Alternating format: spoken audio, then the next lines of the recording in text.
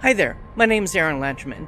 I'm a professor of electrical engineering at Georgia Tech, and this is some piece of modern art. And I would like to welcome you to ECE 3084 Signals and Systems. Today, I would like to talk about power supplies. So, the current coming out of your wall has a voltage form that kind of goes up and it goes down and it goes up and it goes down. It's a sinusoid. Now, most of your modern electronic devices do not want to deal with AC voltage. So, what they really want is a DC voltage. So, the first step in that process is to go through something called a rectifier. And what this does essentially is that it takes the absolute value of whatever is going in. So, what's coming out here looks like joot, joot, joot, joot. And this is usually done with a configuration of four diodes, but we don't really need to know that kind of detail for this class. Now, the next thing we could do here is put some sort of filter. We'll say it has a frequency response j omega, the output of which would ideally look like a straight line, but in practice is going to have some sort of weird little variations. It's going to have some wiggles in there. I haven't drawn these in any way to try to be realistic. I'm just trying to give you the idea here. Let me emphasize the axes that represent a zero voltage. So this value here we want is the actual DC value at the output. For a lot of modern electronic devices like cell phones or anything USB powered, that's 5 volts, but things like 9 volts and 12 volts or something for a laptop, somewhere between 20 and 30 volts is also common, or at least used to be common. Nowadays, 19.5 volts for laptops seems to be prevalent. Now, in practice, there's usually a transformer that goes in front here that takes the actual voltage coming out of the wall and steps it down to some sort of voltage that's more appropriate for what's coming later, but we're not going to worry about that here. So let's call this rectified signal x of t and we'll call the signal coming out of the filter y of t. So in designing this filter, it would be good to have some kind of figure of merit. And the figure of merit that people usually choose is called ripple. And basically, this is the root mean square of the harmonics divided by the DC value. Now, in the US and some other countries, the wall current has a 60 hertz cycle, some other countries use 50 hertz. But remember that after we rectify it, the actual period is half the original period. So the signal here is 120 hertz in terms of its fundamental frequency. So we could also say that omega naught is equal to 2 pi times that. So I could write 240 pi radians per second. And also I could say T naught is equal to 1 over 120 seconds in terms of what the period is. So what's the root mean square value of the harmonics? Well, the root mean square value of any signal is the average of the square of that signal over any period normalized by the period. So I have 1 over t naught. I'm going to write a little t naught down here to indicate that we can integrate over any period. And the sort of math that we're talking about here also works for complex numbers. So I'm going to put a magnitude sign here, although since all of our time functions here are real, I could just put regular parentheses here if I wanted. But anyway, what am I going to put inside the magnitude bars? Well, basically, I'm going to write the Fourier series representation of the signal, but I want to leave out the DC value. So I'll write for k not equal to zero it's a sum from k going from minus infinity to infinity, except we leave out the DC component. So I'll write ak e to the j omega naught. What's omega naught? It's 240 pi times kt. And we want the magnitude squared because this is a mean square. So the s here indicates square, and that's this square right here, magnitude square. The m indicates the mean. And that's associated with taking the integral here and dividing by the period. And then r means root. So I want to put a big square root over here. Now, what is all of the stuff in here really? Well, this is the function minus the DC value. So essentially what this is here is that it's x of t minus a naught. So the way I've written it here, this is the ripple you would get if you didn't have any filtering at all. So let's first see how bad that is, and then we can see what happens when we put in the filter. We need to know what the Fourier series coefficients of x of t are. Going through a couple of pages of calculus and algebra reveals that a of k is equal to 1 over pi times 1 minus 4k squared, with the 1 minus 4k squared in parentheses. That's a fairly standard Fourier series that you could look up. So we have a naught, a1 equal minus 2 over 3 pi, a2 equal minus 2 over 15 pi, and a3 equal minus 2 over 35 pi. So this does slope off pretty quickly. So pumping this into a calculator will give you 0.6366 minus 0.2122 minus 0.0424 and minus 0.0182. So that's just a bunch of numbers. Oh, and it looks like I also forgot the dt here. Sorry about that.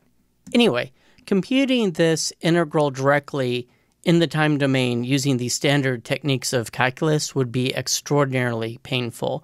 Luckily, we can use Parseval's theorem, which will tell us that this whole mess here is equal to the square root of the stuff computed using Parseval's theorem.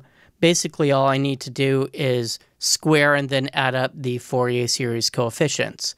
Of course, I need to make sure I'm only taking these non-zero coefficients. So I would wind up with a1 squared, which is 0.2122 squared. I'll explain why I have this bracket here in a little bit.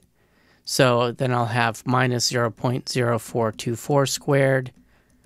I know this isn't very exciting. And then I'll have minus 0.0182 squared. Now, of course, there's a bunch of other terms out here, but for the purposes of what we're doing here, I'm going to approximate it using just these first three terms. Now, what about that bracket that I put there? Well, this actually isn't all of the coefficients. It's only the positive coefficients. Fortunately, the squared magnitudes of the negative coefficients, a minus 1, a minus 2, and a minus 3, are the same as the square magnitudes of a1, a2, and a3, since the underlying signal is real. So I'm just going to put a 2 here in front so I can count each of those terms twice. Now, adding all of that up gives me a square root of 0.0944, which is 0.3072. So that's our RMS. So the resulting ripple would be 0.3072 over the DC value, which is 0.6366. And well, that corresponds to a 48% ripple. That is not great. That is a whole lot of ripple. But again, that's what we get here just from x of t. That's assuming we're not doing any filtering. So let's see how the situation improves when we include a real filter. So we need to pick an actual filter. And I'm going to use a very simple one pole low pass filter in our usual canonical form of omega c over s plus omega c for our cutoff. And omega c is going to be equal to 1 over rc because we're going to use a fairly bog standard one pole filter. So we have an input coming in here, we're tapping an output here, and I have my R and my C. Now, in the example we're about to do, we need to pick some values for R and C. So how about for C, let's pick 1 microfarad, and for R, let's pick 10 kiloohm. These two together will give me an omega C of 100 radians per second. So that's where our half power cutoff is. So let's call the Fourier series coefficients of the signal Y, the output of the filter BK. So those are going to be AK times the filter evaluated at the frequency going in, which is going to be 240 pi, that's omega naught, times K. And when you think about it, we really only need the magnitudes for the kind of work that we're doing here. So what we want now is to compute this same kind of form, except with BK instead of AK. Because this whole thing here really corresponds to the output signal Y of t minus its DC value, which is now determined by B naught. So I can leave the various A values here because those are going to be handy. I'm going to get rid of the minus signs though because of course I wind up taking the magnitude squared of everything anyway. So let me scoosh these over. And let's stick some parentheses here.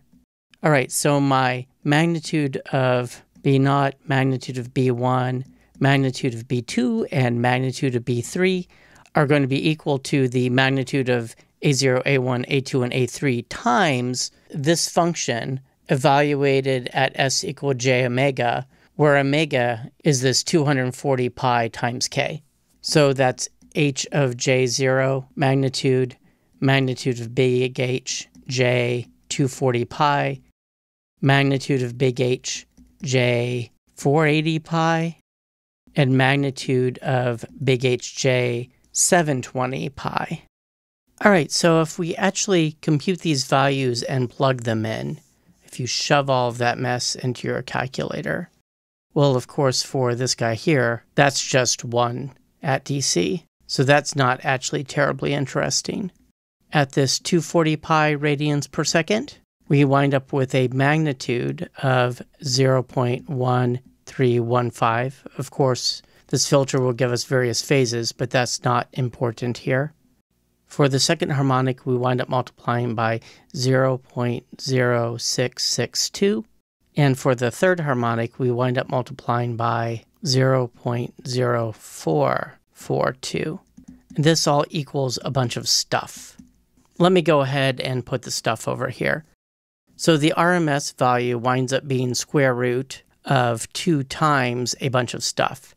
And that stuff, the 0.2122 times 0.1315 gives us 0.0279, and I need to square that.